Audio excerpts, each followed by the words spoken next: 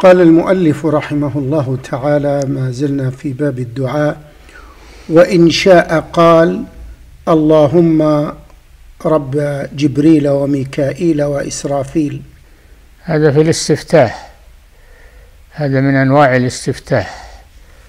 اللهم رب جبرائيل وميكائيل وإسرافيل فاطر السماوات والأرض عالم الغيب والشهادة أنت تحكم بين عبادك فيما كانوا فيه يختلفون.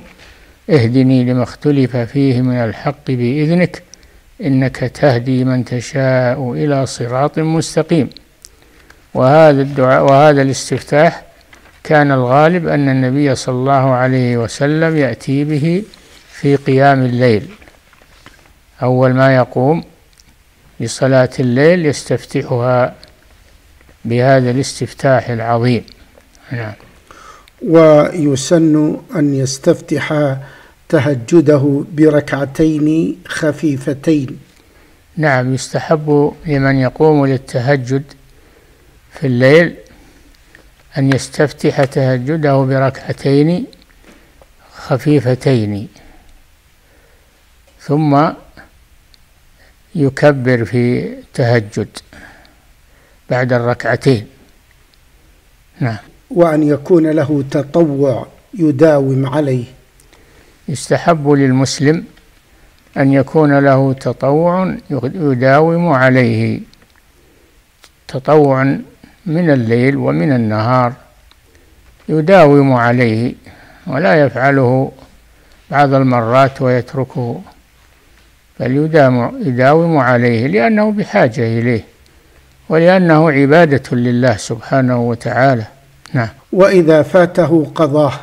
وإذا فاته قيام الليل قضاه من النهار من النهار. كما كان النبي صلى الله عليه وسلم إذا فاته قيام الليل إذا فاته الوتر بالليل أتى به في النهار وشفعه. أداه شفعا بدل أن يكون وترا. نعم. ويستحب أن يقول عند الصباح والمساء ما ورد. يستحب أن يقول عند الصباح والمساء ما ورد. ومنه اللهم بك أصبحنا وبك أمسينا وعليك توكلنا. أصبحنا وأصبح الملك لله الواحد القهار. وما أشبه ذلك من الأدعية الواردة في الصباح وفي المساء مثلها. أمسينا وأمسى الملك لله الواحد القهار.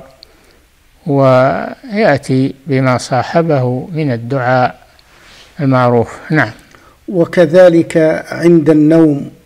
نعم وكذلك عند النوم يأتي بذكر الله سبحانه وتعالى والدعاء الوارد عند النوم. اللهم إني وضعت جنبي إليك وأسلمت نفسي إليك ووجهت وجهي إليك رغبة ورهبة إليك لا لجا ولا منجا ولا ملتجا منك إلا إليك وهكذا. نعم. والانتباه. وعند الانتباه يقول أصبحنا وأصبح أول شيء يقول لا إله إلا الله. ثم يقول اللهم إنا بك أصبحنا وبك أمسينا وعليك توكلنا. أصبحنا وأصبح الملك لله الواحد القهار. نعم. وعند دخول المنزل والخروج منه. عند دخول المنزل يقول بسم الله. آه وإن زاد على بسم الله فإنه مستحب. بسم الله ولجنا وبسم الله خرجنا وعلى الله ربنا توكلنا. اللهم إني أسألك خير المولج والمخرج. نعم. وغير ذلك. وغير ذلك من شؤونه يكثر من دعاء الله عز وجل لأن الدعاء عبادة. نعم. والتطوع في البيت أفضل. تطوع يعني صلاة التطوع في البيت أفضل من صلاة التطوع في المسجد لأن لأنها تعمر البيت بذكر الله عز وجل ولأنها تطرد عنه الشياطين ولأنها تنور البيت. نعم. وكذا الإصرار وكذا الإصرار به. الإصرار بالدعاء يعني. يسر يسره. هذا أحسن من الجهر. نعم. وإن كان مما لا تشرع له الجماعة. نعم. يقول وكذلك الإسرار به إن كان مما لا تشرع له الجماعة. إي نعم. الأذكار التي تشرع لها الجماعة مثل الذكر بعد الصلاة بعد الصلاة الفريضة. كانوا يأتون به ويرفعون أصواتهم. حتى قال ابن عباس رضي الله عنه وكان من صغار الصحابة كنا نعرف انصراف النبي صلى الله عليه وسلم من الصلاة يعني تسليمه منها إذا سمعنا الذكر. نعم. يقول ولا بأس بالتطوع جماعة إذا لم يتخذ عادة. لا بأس بالتطوع جماعة في التطوع المطلق. إذا فعلوا فعلوه جماعة من غير ترتيب ومن غير موعد وإنما اجتمعوا في مكان وقاموا يصلون صلاة الليل فلا بأس بذلك. أما إذا رتب هذا فلا يجوز إلا ما جاء أن, أن أنه إلا ما جاء من النوافل أنه يصلى جماعة كالتراويح فإنه يصلى تصلى جماعة. نعم. ويستحب الاستغفار بالسحر. نعم يستحب الإكثار من الاستغفار طلب المغفرة في وقت السحر لقوله تعالى والمستغفرين بالأسحار لأنه ختام الليل فيختمه بالاستغفار. نعم. والإكثار منه. الإكثار من الاستغفار يعني حتى آه، في ساعات النهار وساعات الليل. وكل ما تعار من الليل استغفر الله. نعم. ومن فاته آه، تهجده قضاه قبل الظهر. من فاته تهجده بالليل قضاه آه، في الصباح. ما بين ما بين طلوع الشمس وارتفاعها قيد رمح إلى إلى زوال الشمس دخول وقت الظهر. نعم.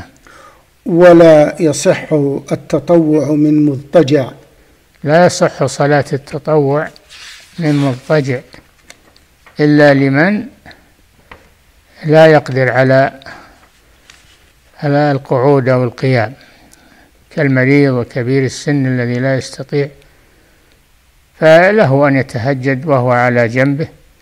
يذكرون الله قياما وقعودا وعلى جنوبهم يذكر الله ويصلي على جنبه إذا لم يستطع الجلوس. نعم. وتسن صلاة الضحى. تسن صلاة الضحى التي يسميها الناس صلاة الإشراق أو الأشراق هي صلاة الضحى. وتبدأ من ارتفاع الشمس قيد رمح يعني يبدأ وقتها من ارتفاع الشمس قيد رمح إلى أن تتوسط الشمس على الرؤوس قبل دخول وقت الظهر. نعم. ووقتها من خروج وقت النهي إلى قبيل الزوال. هذا الذي ذكرنا خروج وقت النهي إذا ارتفعت الشمس خرج وقت النهي. آه، لقوله صلى الله عليه وسلم لا صلاة بعد الفجر لأن ترتفع الشمس. نعم. وفعلها إذا اشتد الحر أفضل. فعلها يؤخرها يعني إلى دخول وقت حرارة الشمس قبل الظهر أفضل. يصليها في قبيل دخول وقت الظهر هذا أفضل. نعم. وهي ركعتان وإن زاد فحسن. حسن نعم. في صلاة الضحى أقلها ركعتان وأكثرها ثمان ركعات.